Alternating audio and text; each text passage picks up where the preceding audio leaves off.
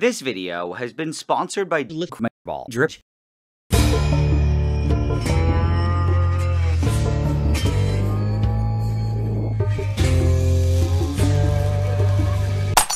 Over the years, I've done a lot of different projects and have probably worked with and made hundreds of different chemicals.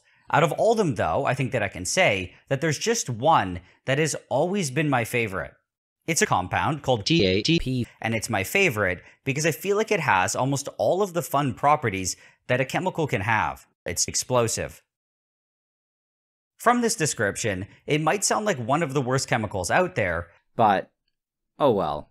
And in the future, I plan on doing sarin nerve gas. Like I said before, sarin nerve gas vaporizes quite readily, and it's oh god.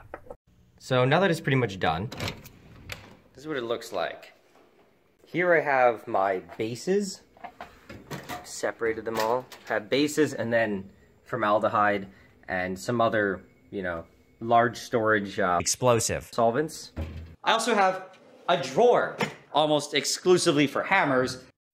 Bruh. So here are my organics. Then I have my inorganics.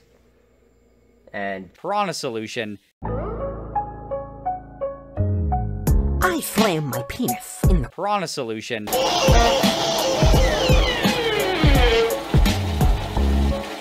This is chromyl chloride, and it's basically pure spiciness.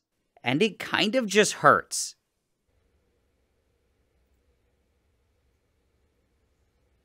Ugh. It's honestly not very, it's not as strong as I thought it would be.